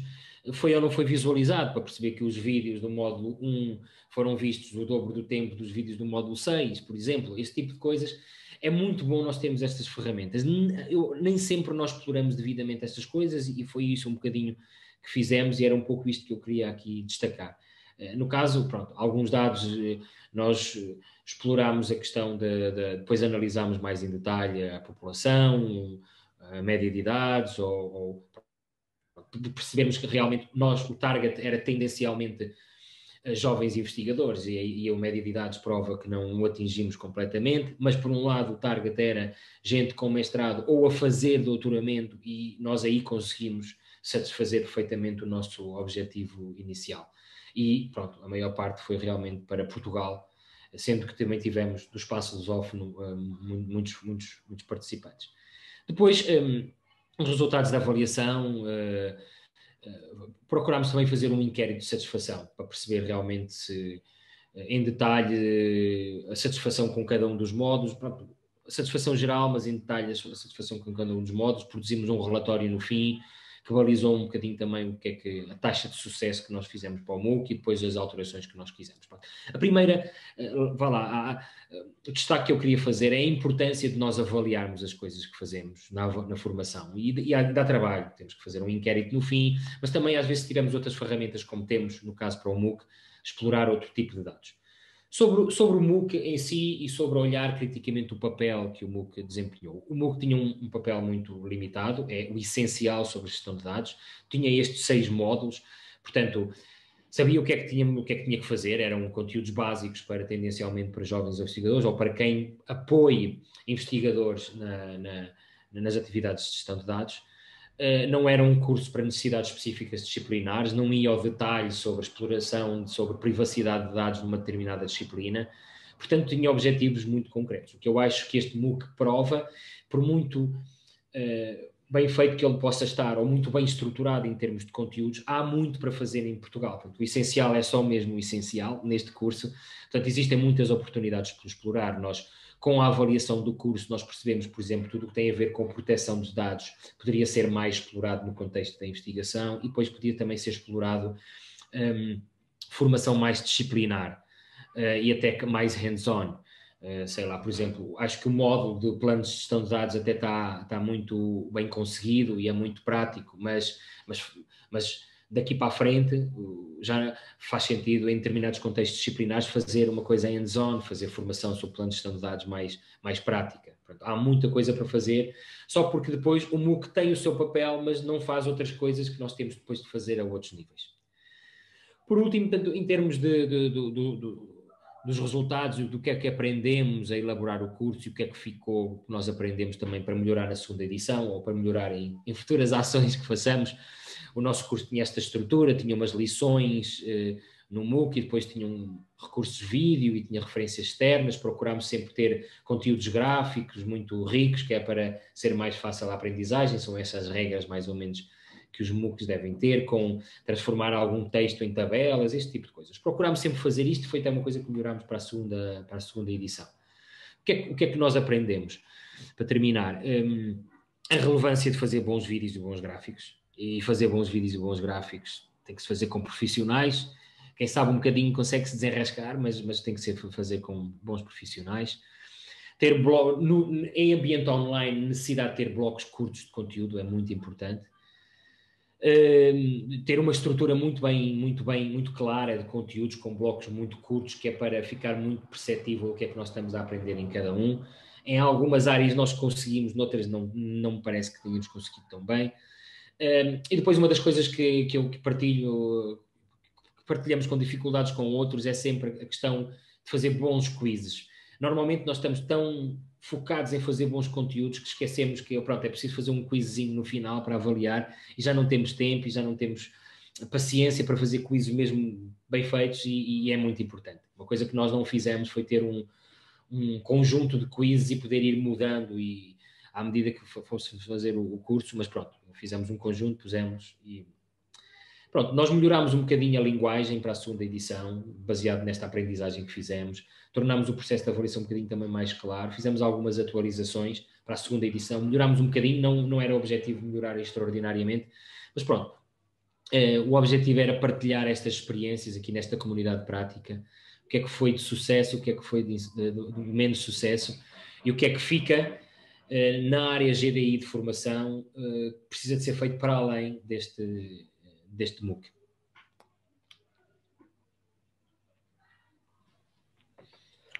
Obrigada, Pedro.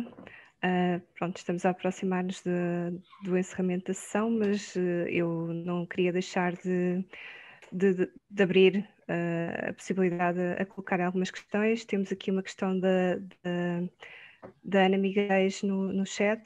Uma das perguntas que gostaria de colocar a todos os intervenientes tem a ver com estas preocupações que o Pedro está a referir. Que resultados têm obtido? Conseguem avaliar? Verificam mudanças? e pedi aos oradores. Uh... Eu, eu, também posso aproveitar e fazer uma pergunta. As pessoas também, se quiserem falar, podem falar, porque tem mais piada a falar. Mas uma das perguntas que eu, depois podemos juntar as perguntas todas e se calhar fazemos uma ronda. Uma das coisas que eu queria fazer ao, ao Pedro Fernandes é sobre esta, sobre esta, esta importante complementaridade ou dicotomia entre um, a necessidade de nós termos. Eh, portanto, quando estamos a fazer formação nas áreas que tu apresentaste, é importante também ter tools, não é? É importante também ter ferramentas, porque nós podemos estar a falar uh, do beabá, mas depois esbarramos contra uma parede porque não podemos aplicar. Como é que tu vives esta, portanto, esta como é que isto se influencia, esta influência que existe entre processo de formação e disponibilidade de ferramentas? Uh, isto é muito visível para a parte dos dados, porque nós podemos falar sobre planos de gestão de dados, ou sobre repositórios, ou sobre storage, mas depois se tivermos o sítio para fazer o plano de gestão de dados, até temos para depositar, mas não temos para fazer storage, fica, hum, fica complicado, não é? Como, é que, como é que tu também refletes um bocadinho sobre isto, sobre esta, esta ligação? Já deixei umas perguntas no chat como se fossem perguntas para ti. Estamos a trocar galhardetes. Mas não, não, não são para ninguém e, portanto, eu vou basicamente dizer que eu esbarro realmente com essa dificuldade permanentemente. E não é só na ciência aberta, é em tudo e há muita, muito poucas ferramentas para avaliar. E avaliar uh, ensino e cursos é mais complexo, mas tem uma espécie de um, de um atalho que dá a ideia que as coisas estão feitas e não estão. Uma coisa é fazermos inquéritos de satisfação em que a pessoa diz gostei disto, não gostei daquilo, isto foi muito bom, aquilo foi péssimo, aquilo foi mal, e, e fazer cruzinhas em tabelas e, e uh, responder a, a, inquéritos no Google, ou seja o que for. Mas isso, infelizmente, informa pouco.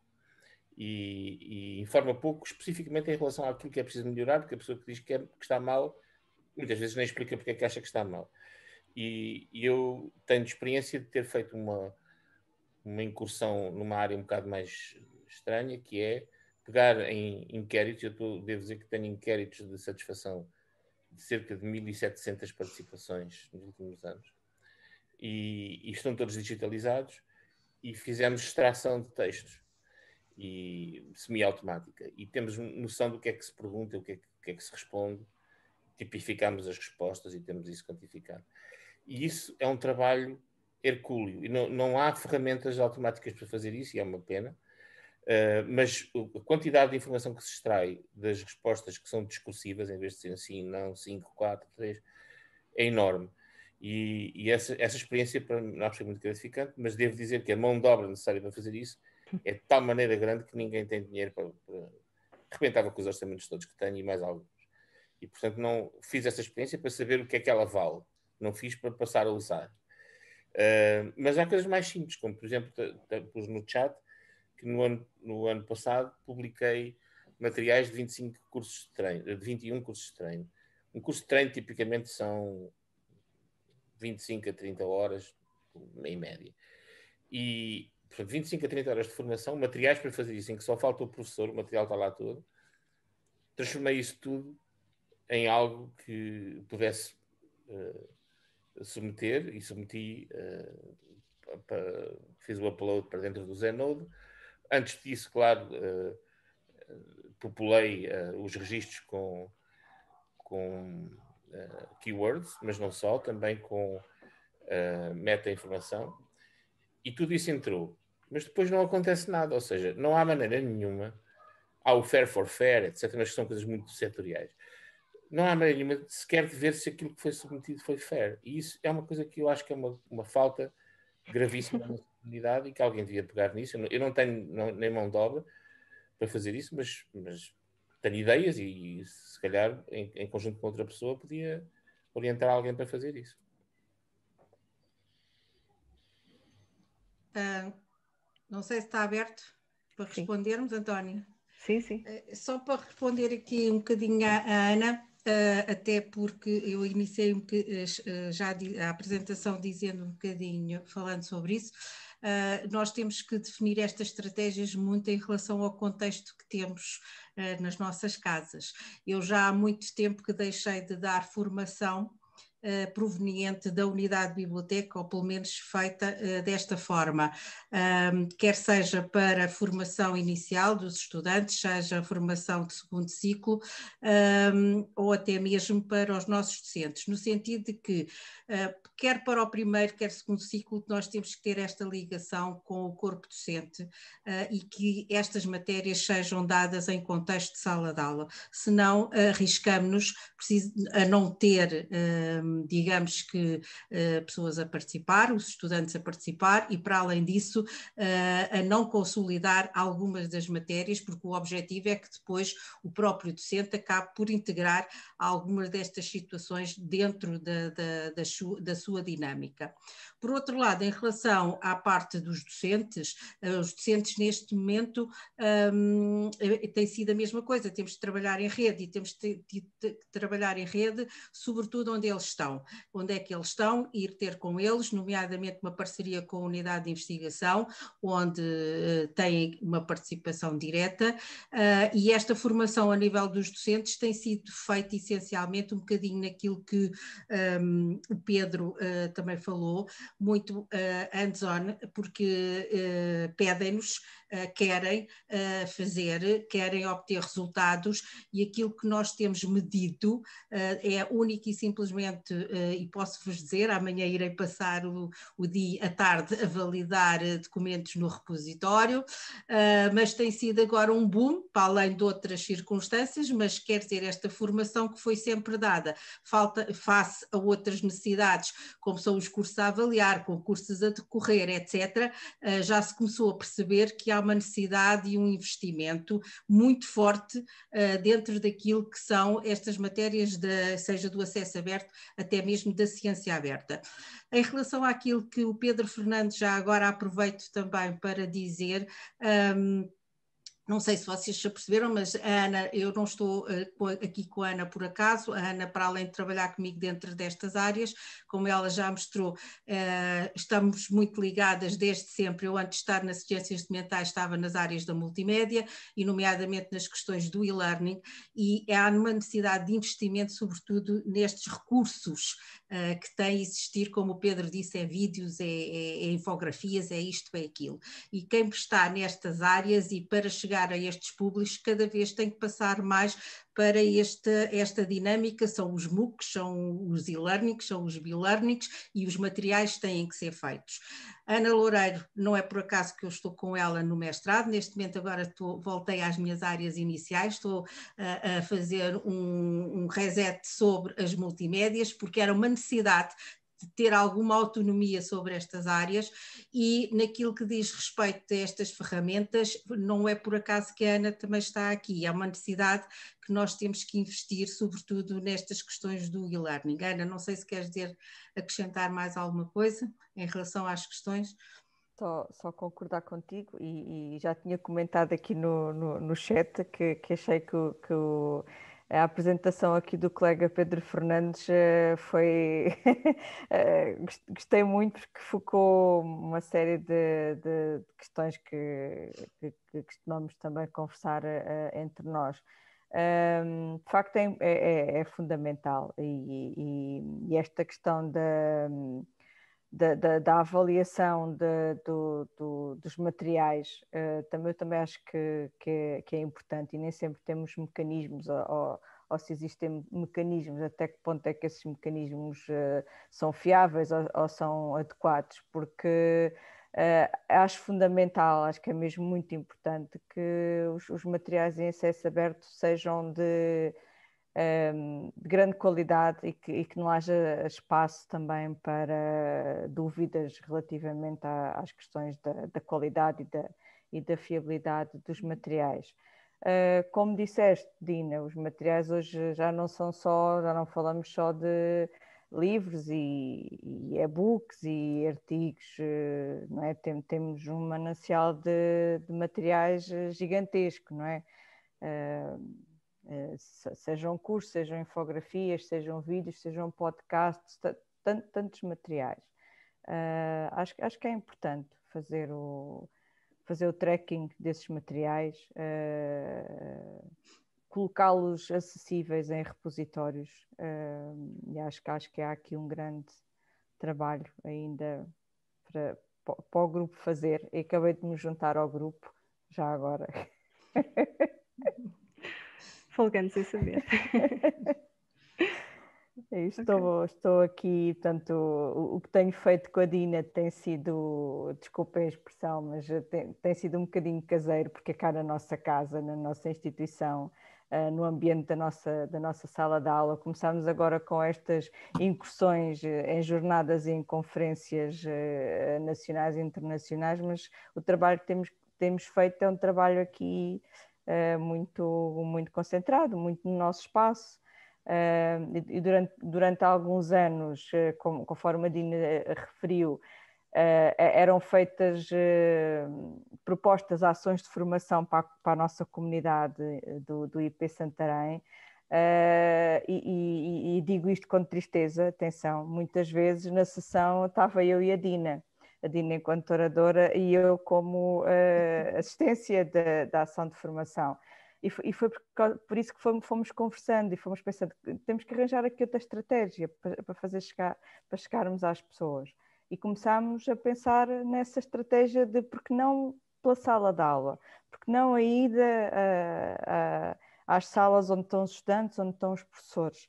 Uh, e, e foi-se construindo assim o caminho. E hoje temos os, para além disso, os webinários, eh, que agora estão, estão em grande voga devido à, à, pandemia, não é? Mas que no meio desta, de, de, de, destes azares, desta situação, permitiu, permitiu chegar, uh, chegar mais longe, chegar, chegar a mais gente, porque de facto têm-se feito sessões e hum, há mais público Uh, se calhar era uma questão também a ser, a ser explorada e a ser uh, investigada, porque é que temos mais público neste, nestas sessões em formato webinário uh, do que numa, numa sessão. Uh, Dina, não sei se queres comentar. Eu vou comentar aquilo que o Pedro, o Pedro, o Pedro acabou de dizer. Ó oh, Pedro, que escrever aí, que é isso é uma grande luta que uh, eu já, eu e a Ana já tentámos fazer, que foi incorporar mesmo nos cursos. Uh, nós estamos a tentar fazer uma no Politécnico através da nossa plataforma de e-learning uma unidade curricular transversal ao Instituto.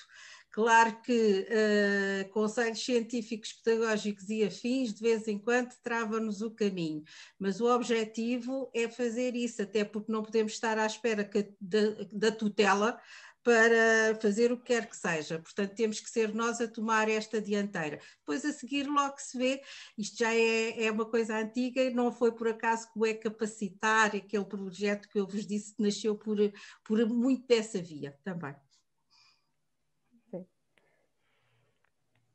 Muito bem. Uh, não sei se a Emília ou o Carlos querem acrescentar alguma coisa, eu se querem fazer algum comentário. Duas ou três notas que é, um, e pegando nas palavras do Pedro Fernandes, um, primeiro eu penso que uma das palavras-chave que, que, está implícito é a palavra capacitação.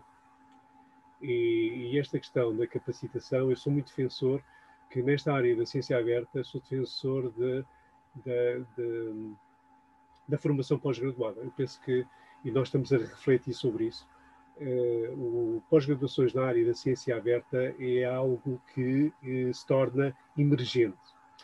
Por outro lado, na sequência da que a Dina falou, eu penso que a integração de, destes materiais, destes supermateriais, uh, conseguir integrar através de unidades curriculares esta mensagem da ciência aberta, logo, logo na formação inicial, é extremamente importante.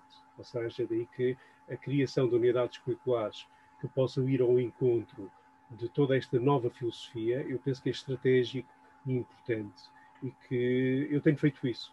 Eu eh, eh, tenho feito isso com, em, em, grupo, mas aquilo que eu hoje quis aqui trazer foi que, porque só aí é que a componente avaliativa é complementar e, e é robusta relativamente ao processo de aprendizagem. Uh, a terceira nota tem a ver com esta, este mergulho dentro de um centro de investigação. nós há todo um conjunto de dispositivos que nós podemos desencadear. Não é fácil, é extremamente difícil.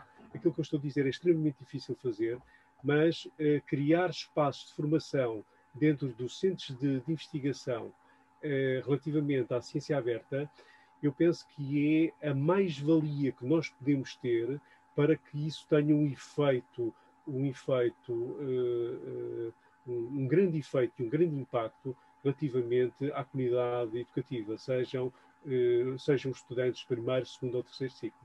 Um, termino com, com, com, uma nota de, com uma nota relativamente a que um, eh, com uma nota de agradecimento. E a nota de agradecimento é que uh, durante esta semana uh, foi de uma riqueza estonteante, apesar de todos levarmos aqui uma mochila cheia de materiais, de ideias e de, de, de potenciais projetos, mas eu penso que a comunidade prática, a comunidade prática que hoje, penso eu, que, que se materializa, é uma via e, e, e, temos nos Estados Unidos isto é, é, flagrante. E eu penso que a comunidade prática que estamos a construir nesta área pode ser um vetor importante para todos. Daí que quero agradecer esta iniciativa. Muito obrigado a todos. Uh, posso, Antónia? Com certeza. Ok. Então, uh, eu praticamente não tenho nada a acrescentar ao que o Carlos disse e anteriormente uh, ao que disse a Dina. Uh, no que diz respeito à avaliação, concordo com a Ana, com a, com a ideia.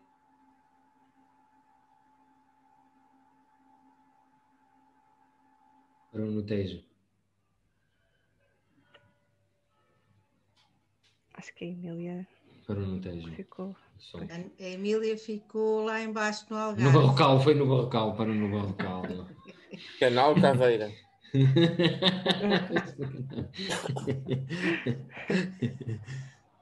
eu, eu, aproveito enquanto ela, ela não, não volta, me digo qualquer coisa aqui sobre. Eu, eu, eu, isto, claro que o Pedro comentava aqui que não há, que não há, que que não há, como é que tu, dizias, que não havia muitas formações, muitas, muitas ferramentas lá, de, de, qualidade, não é? Há poucas e más ferramentas para avaliar e eu concordo. Claro que nós podemos ter sempre uns, uns inquéritos de satisfação bem feitinhos, embora depois aquilo a determinado momento é quase um proforma burocrático, que é no final da formação, não, lá enviamos o inquérito e, e depois nunca mais olhamos para aquilo sequer, mas pronto, se, se, o fizermos bem feito e se olharmos para aquilo, já, já não é mau. É como as críticas ferramentas... dos restaurantes, não é muito diferente das críticas dos restaurantes. Sim, sim. sim epá, mas as críticas dos restaurantes, epá, apesar de tudo, ainda vamos escolhendo os restaurantes pelas, pelas críticas. Não, mas também pôr estrelas nas coisas, por exemplo. Sim, é? sim, sim. Ehm, mas, mas, acho, por exemplo, isto, isto aqui eu não, eu não, conhecia a ferramenta do, do Analytics do OpenEDX e devo confessar que fiquei uh, bem impressionado e, e, dá para explorar umas coisas. Claro, também tem limitações, pronto, não, não, não dá para extrapolar aquilo tudo, pronto, dá para confirmar algumas coisas, dá para explorar um bocadinho realmente é interessante explorar o tempo de visualização dos vídeos e perceber que há uns vídeos num, num, num, num módulo tem muito tempo e outros menos no outro. Pronto, só, que, só que depois também não sabemos as razões, não é? não sabemos, não, podemos só especular, não é?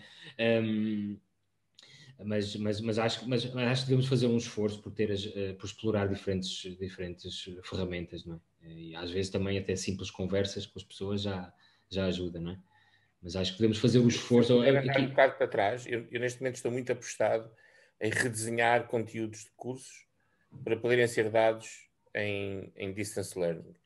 E a, a primeira coisa que eu, que eu embato é que os meus colegas internacionalmente envolvidos nas mesmas operações, o que estão a fazer é que estão a pegar em cursos que estão desenhados para funcionar 7 horas por dia, 5 dias numa semana, estão a, a, a transformá-los em, em gravações Zoom e a achar que aquilo é uma boa ideia. Ora, ninguém aguenta 7 horas de Zoom por dia. Sim, sim, sim. sim.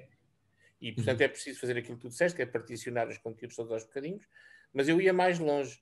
Acho que é preciso estimular que o replay desses vídeos seja intercalado com sessões offline, eventualmente até intervalos, uh, intervalos para discussão ou intervalos para ir beber um café. E, e senão as pessoas não têm. Uh, isso esbarra com uma coisa básica no, no na, na, teoria, nas teorias de, de, de aprendizagem, que é uh, o, o, esbarrar contra o que eles chamam de cognitive load, ou seja, sim, sim. a carga máxima que uma pessoa pode aguentar. E o vídeo é extremamente denso em, em carga, e portanto não se pode passar um vídeo de 7 horas. É, sim, sim. Nem, nem estar a 7 horas aqui à frente. É, o Pedro, o Pedro isso é Fernandes, isso vai, vai tudo contra tudo aquilo que são, que é o e-learning e tudo. Nós não andamos aqui neste momento a fazer e-learning nenhum. Às vezes isto até é uma ofensa ao e-learning, não é?